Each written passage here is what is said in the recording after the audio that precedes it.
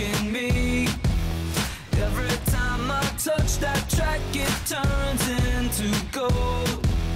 Everybody knows I got the magic in me. Welcome back. Today we're going to be starting the geometry unit. We're going to be starting the geometry unit by talking about translating, reflection, and dilation. So let's go ahead and get started with that right now. So before we get started, we have a few reminders. The figure before the transformation is called the pre-image. We label the pre-image with letters, so for example, triangle ABC.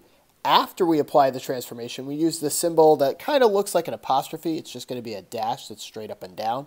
So when we read this symbol, we call this symbol prime. So for example, if you had a triangle, you had a triangle A prime, B prime, C prime. Now let's take a look at example A. Here we are at example A, and it says the pre-image of PQR is shown on the coordinate plane. Draw translation, right 3 units, and down 4 units. Label the image P prime, Q prime, R prime. So we're going to be doing translation here, or another word for that is slide. So we're going to be going right 3 units and then down 4. The easiest way to do this when we have the image already with us is we're going to just count on the graph. So we're going to go right 3, down 4. So starting with P, we're going to go over to the right, one, two, three, and down 4, one, two, three, four, and our point is going to be right there. We're going to label it P prime. We're going to do the same thing for R now. We're going to go right, one, two, three, down, one, two, three, four, and label it R prime. And then we're going to finally go with Q and go one, two, three, down, one, two, three, four, and label that Q prime. Once we've done that, we'll just connect our points and we'll have given ourselves a triangle. You can use a straight edge for this, or you can freehand it if you feel as though you're good enough. And you notice that our triangle looks exactly the same as the triangle we had before, it's just slid down a little bit. Now we need to see what is another way to write three units to the right. Another way to write three units to the right is we're going to be adding 3. If we're going to the right, we're going to be heading towards the positive numbers on our graph, so that's the same as adding 3. The same thing with down 4 units. Instead, we're going to be going towards the negatives on our graph, so that's going to be minus 4. So anytime that we have a slide and we're talking about positive, we're going to be going to the right, negative would be to the left, up would be going positive, down would be going negative. Now let's take a look at example B. So here we are at example B, and it says parallelogram ABCD has the vertices, and they've listed them below. Translate the parallelogram to the right three units, down two units to yield the parallelogram A prime, B prime, C prime, D prime. It wants us to list the coordinates and show it on the coordinate plane. So this time we don't have our image right on our graph, or our pre-image right on our graph. So we're going to have to use the math in order to get this correct. So we talked about any time that we're going to be talking right, we're going to be adding. Left would be negative, up would be positive, down would be negative. So now let's take a look at letter A at negative 5, 3. We're going to be going to the right 3 units, so that's going to be adding 3. And we're going to be going down 2 units, that's going to be minus 2. Negative 5 plus 3 is going to be negative 2. 3 minus 2 is going to be 1. Now we're going to go with B prime. Again, we're going to be adding 3 and subtracting 2. Negative 1 plus 3 is 2. 3 minus 2 is going to be 1. C prime, again, same thing. We're going to be adding 3 and subtracting 2. Negative 3 plus 3 is going to be 0. 0 minus 2 is going to be negative 2. And our final point on our graph, we're going to be adding 3 and negative 2 to, is D. Negative 7 plus 3 is going to be negative 4. And 0 minus 2 is going to be negative 2. Now that we've got all our points, we're just going to plot them onto our graph. And once we've done that, we'll connect all of our points to make the parallelogram. So we've got negative 2, 1. So we're going to go over to negative 2, up to 1. And we're going to label that A prime. Do not forget your labels. They are very important. We're going to go over 2, and then we're going to go up 1 for point B prime. We're going to go 0, so stay right where we are. Go down negative 2 for C prime. And we're going to go negative 4, and we're going to go down negative 2 to give us d prime. Once we've done that, we're going to connect our points to give ourselves our parallelogram here. Not the best looking parallelogram in the world, but it gets the job done, and we've done this problem correct. Now let's move on to example C. Here we are at example and it says show reflection of triangle ABC over the y-axis. Label the image A prime, B prime, C prime. So we're going to be performing a reflection now, or another way to think of that is flip. and we're going to be going over the y-axis. So it's very important that since I know I'm going over the y-axis, I'm going to draw a dash line down the y-axis so that I remember that's the one I'm going over. You don't have to do that, but it's an excellent tool to help you remind. So now we're going to go reflecting from one side to the other. And when we have an image that we is already on the graph, it's easiest to count. So again, I've got A here, and A is at one, two, three, four, five spaces to the left. So to reflect it over the five over the y-axis, I'm going to go five spaces to the right. So one, two, three, four, five, and I'm going to end up with A prime. I'm going to do the same thing with B now. It's going two places to the left, so I'm going to go two places to the right and call that B prime. And I'm going to go C prime. I'm going to go seven spaces to the left. One, two, three, four, five, six, seven, eight, nine. Make that nine spaces to the left, which is why it's important to count. One, two, three, four, five, six, seven, eight, nine spaces to the right, and we've got C prime. Now we're going to connect all our points to make our triangle. And again, we should have the same size and shape triangle that we had on the other side. It should just look opposite as though it had been shown in a mirror. And that's what we have here. Remember that anytime that you do a reflection, your shapes are going to be congruent. They're going to be exactly the same shape, exactly the same size. Same thing with translating, same shape, same size. They are going to be congruent. And we've done this problem correct. Now let's move on to example D.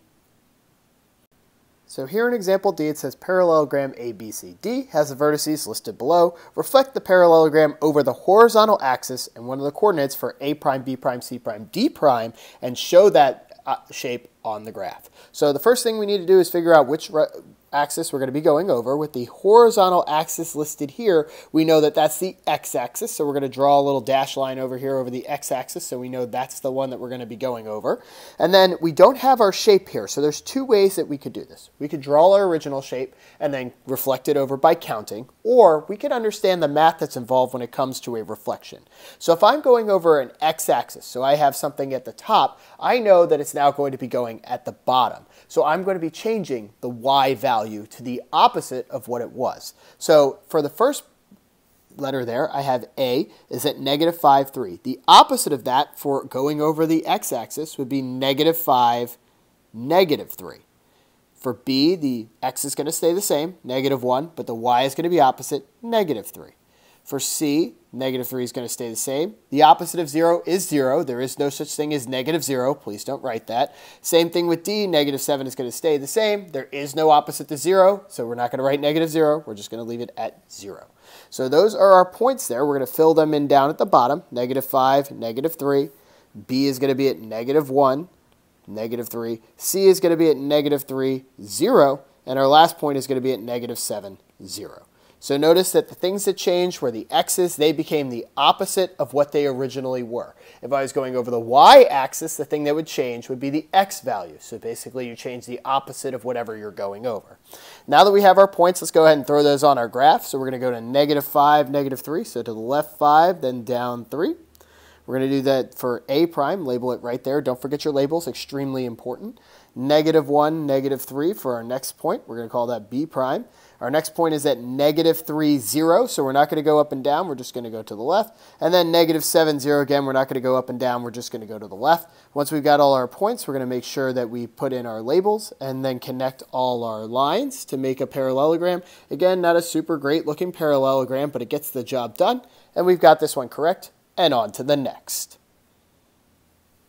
So here we are at example E, and it says ABC is being dilated by a scale factor of 3. Draw the image A prime, B prime, C prime. So when we're talking about dilation, we're also talking about scale. So the way that we're going to scale something is we're going to be multiplying by our scale factor. So in this case, our scale factor is 3. So that's what we're going to be multiplying all our coordinates by. But oh no, it doesn't look like they gave us our coordinates. We're going to have to pick them off their graph ourselves. So let's look at where A is. So A is over to the right 3. It's not going up or down. So our point there is 3, 0. Looking at B, we've got our point at positive 1, negative 3. And we've got C, we're going to go to the left, negative 2, up 2. So positive, no, negative 2, positive 2. There we go. Remember, the x-coordinate always comes first. Now, since we're going to be multiplying each of these by a scale factor of 3, we're going to be multiplying both things on the inside. So multiplying 3, multiplying 0. It's basically the distributive property for everything that we're doing here. Excellent, excellent, excellent. Make sure that we've got our distributive property happening for everything. 3 times 3 is 9. 3 times 0 is 0, so that one's taken care of. 3 times 1 is 3. Negative 3 times 3 is negative 9. Negative 2 times 3 is negative 6. 3 times 2 is positive 6, and we've got all our points. So let's go ahead and throw those on our graph. We're going over to 9 and up 0, so that's going to be all the way over here as a prime. We're going to go over 3 and down negative 9 for point B prime. And we're going to go negative 6 and up positive 6 for C prime. Now we're going to connect up our points to make our large triangle. Again, if you need a ruler, feel free to grab one. You want to make sure that you get your points lined up correctly. Can't always freehand it. And there we've got our triangle that is three times bigger than the triangle that we currently have. So when we're talking about dilation, we have figures that are similar, not congruent. They are the same shape, but they are not the same size. That's a very important thing to remember. Now let's take a look at the last example. Here we are at example F, and it says quadrilateral ABCD has the vertices listed below. The quadrilateral is being dilated by a scale factor of 1 4, so that's an important thing. That's what we're going to be multiplying by a fraction. What is the coordinates of the image? A prime, B prime, C prime, D prime. Show that image on the graph let's get started. So we're going to be multiplying by a fraction, which is the same thing as dividing by the denominator. So everything you want to do is fine with me. I'm going to keep with the multiplication theme. So in this case, I'm going to be multiplying both numbers by 1 fourth, or you can turn that to a decimal as 0.25. Either way is fine with me, but remember we're going to take both numbers there, so both the y coordinate and the x coordinate by 0.25. So negative 8 times 0.25 is going to be negative 2. 4 times 0.25 is going to be 1, and we're moving on to b. Again, same thing, 0.25 to both numbers on the inside. 0.25 times 4 is going to be 1. 8 times 0.25 is going to be 2. And we're on to letter C, where we're going to be multiplying by 0.25 again. 8 times 0.25 is going to give me 2. 0 times 0.25 is going to be 0, so that stays the same. And the last we're going to be multiplying by 0.25 to both those negatives there. Negative 4 times 0.25 is going to be negative 1. Positive times a negative, same thing is going to be negative 1. Now that we've got all those points, let's go ahead and put them on our graph. So we're going to be going over to negative 2, up positive 1. We're going to call that A prime. B, we're going to be going over 1, up 2. We're going to be calling that B prime. We're going to be going to 2, 0, so over 2, nowhere for C prime. And we're going to be going over 1 to the left, down 1 for D prime. And we've got ourselves another little parallelogram. So again, we're going to be connecting all our points to make sure that we've got it correct. That brings us to the end of this problem. It also brings us to the end of this set of notes. If you like this video, go ahead and throw us a thumbs up. If you love this video, go ahead and throw us a sub, and we will catch you in the next one.